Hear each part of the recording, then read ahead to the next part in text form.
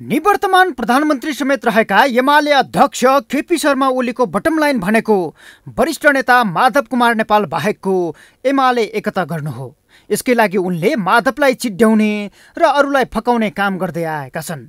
यसअघि पनि एमाले एकताका लागि भनेको कार्यदलमा समेत अध्यक्ष ओलीले माधव पक्षका सदस्यहरूलाई सकभर आफ्नो पक्षमा ल्याउन हर सम्भव प्रयास गरेका थिए।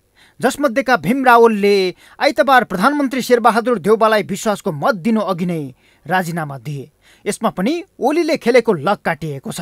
तर ओलीतिर रावल मात्र ढल्किएका बेला माधवतिर आठ सांसद समर्पित भएपछि ओलीमाथि थप वज्रपात परेको छ। तत्कालीन ओली सरकारमा वनमन्त्री रहेका प्रेमालेदेखि ओलीलाई बचाउन सांसद अपहरणसम्म गर्न अघि सरेका किसान श्रेष्ठहरू अहिले माधवको कित्तामा उभिएका छन्। यसले ओलीको धरातल खस्किँदै गएको र माधवहरू बलियो हुँदै जाने सङ्केत गरेको नेताहरू बताउँछन्।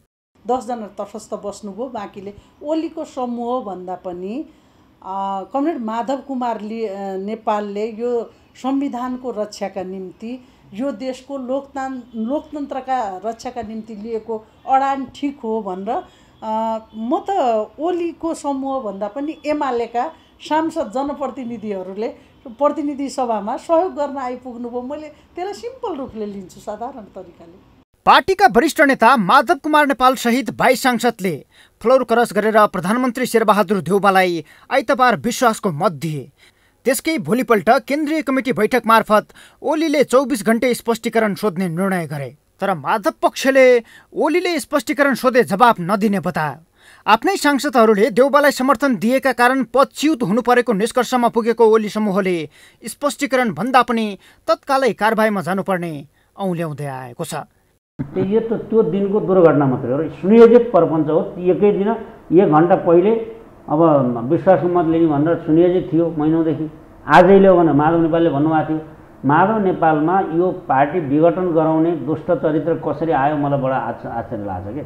पार्टी र आन्दोलनै समाप्त पार्ने प्रतिशोधको लागि त्यहाँसम्म पुग्नुभयो र विश्वास मत लिनु लगाएको पनि मैले हो भनेर भन्नुभयो कार्यदलसँग उहाँले पार्टीभित्रको ओली गुट र माधव गुटको बवन्डरले थलिएको एमालेमा राष्ट्रपति विद्यादेवी भण्डारीको सक्रियता र हस्तक्षेप पनि जब्बर छ भण्डारी संवैधानिक भूमिकामा रहे पनि बेला बेला पार्टीका मामिलामा देखाउने अग्रसरताकै कारण कतिपयले तेस्रो गुट सक्रिय भइरहेको विश्लेषण समेत गर्छन्।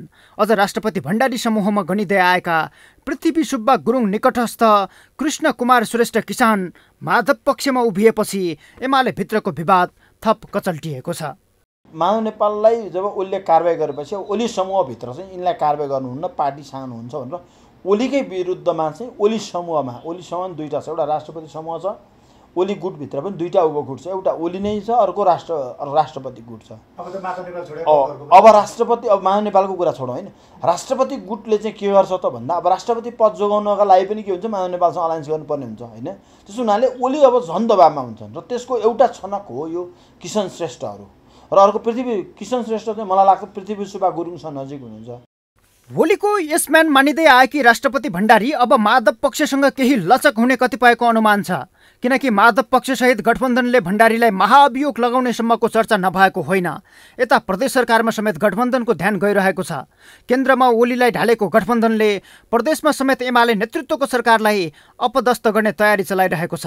तर एमालेबाट बनेका मुख्यमन्त्री मध्ये प्रदेश एक बागमती प्रदेश र लुम्बिनी प्रदेशका मुख्यमन्त्री राष्ट्रपति निकट मानिन्छन् जसलाई बचाउन पनि राष्ट्रपति माधव पक्षसँग लचक हुनुपर्ने बाध्यतामा रहेको कतिपयको विश्लेषण छ। किनकि यसअघि पनि राष्ट्रपति निकटस्थ मानिएका पृथ्वी सुब्बा गुरुङले गण्डकी प्रदेशको मुख्यमन्त्री पदबाट हात धुनु परेको थियो।